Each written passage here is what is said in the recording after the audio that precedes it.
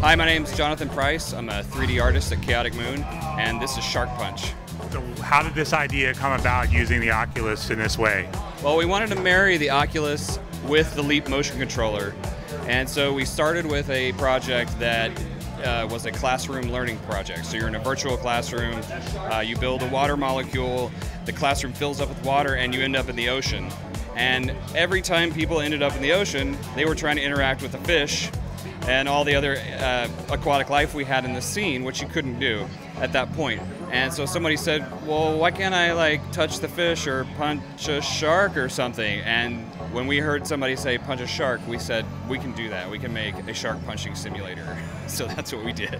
So talk about the actual technology and how you're utilizing it. Okay, so the Leap motion controller is uh, attached to the front of the Oculus. Uh, it tracks your hands, so it's got a kind of a short range, but it will track both hands and track uh, forward and backwards, side to side, and then you have a full 360 degree motion with the uh, with the uh, Oculus Rift.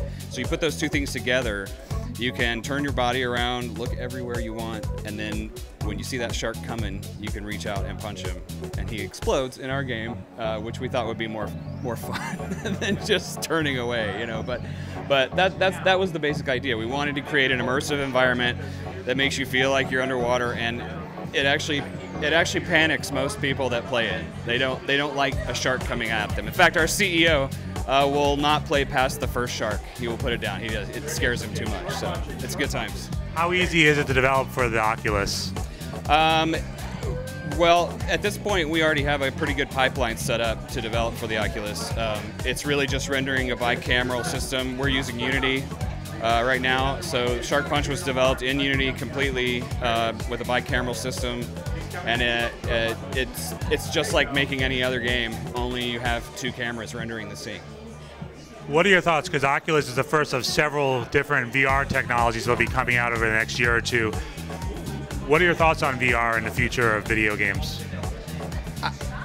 If it's accessible to the casual gamer, to the average gamer, even, I think I think it has a place. Um, it's a matter of developers making something that is worth using the Oculus for. And we've seen all we've seen a lot of the demos. There's the there's a really good one with um, uh, uh, oh gosh, what's the game? Um, dogfighting game. The no, no, it's the the sort. I'm I'm totally failing with my gamer roots here. Uh, it's it's the. Uh, um, oh, I totally I totally failed. It's what's the name of that game?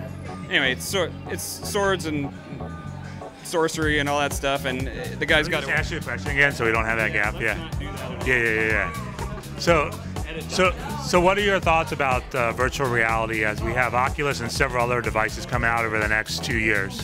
I think as long as uh, the Oculus and those new devices, and I'm in, really interested to see, you know, with the Razer and to see what Valve is doing, and to see what Oculus is doing.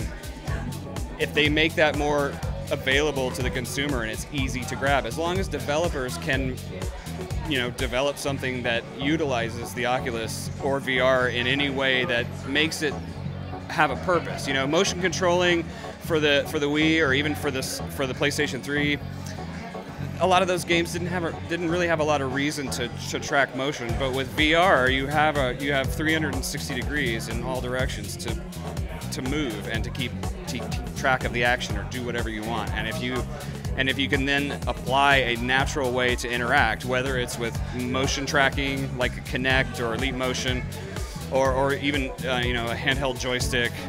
Um, I think uh, I think there's definitely potential there, more than there more now than there ever has been, for sure.